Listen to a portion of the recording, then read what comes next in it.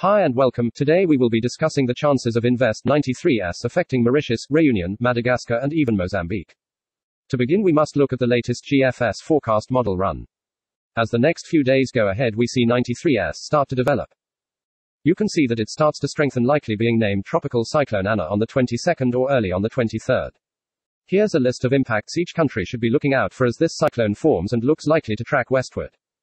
Firstly, Mauritius. Mauritius will likely see heavy rain as well as strengthening winds, but the exact strength of the winds depend on the exact track of this system and as we get a better idea of the track and intensity. For Réunion impacts are likely to be similar with strengthening winds as well as heavy rain as the system passes to the north. But the alert level gets raised a bit as we look at Madagascar as well as Mozambique later on. Mozambique impacts all depend on how the cyclone interacts with the mountainous terrain as one scenario has the mountainous terrain completely destroying the system therefore after a heavy impact in Madagascar it emerges in the Mozambique channel as a tropical depression.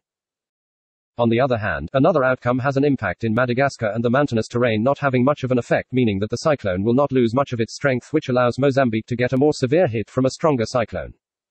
This is the latest spaghetti plots for 93S. This is a selection of the GEFS model run several times with a slight change to the start outcome to get a slightly different result so we can get a better idea of what the system may so if something unexpectedly changes. You can see that this system will very likely keep strengthening, indicated by the darker colors like the red, purple, and even pink in some places, which shows a possible severe tropical cyclone. We will keep you updated on this as there are a lot of small details we need to firm up on so we can get you the most accurate forecast. Until then, be sure to subscribe and like so you never miss an update. Stay safe and be sure to ask any questions you may have in the comments below. Have a great day. See you in tomorrow's update. Goodbye.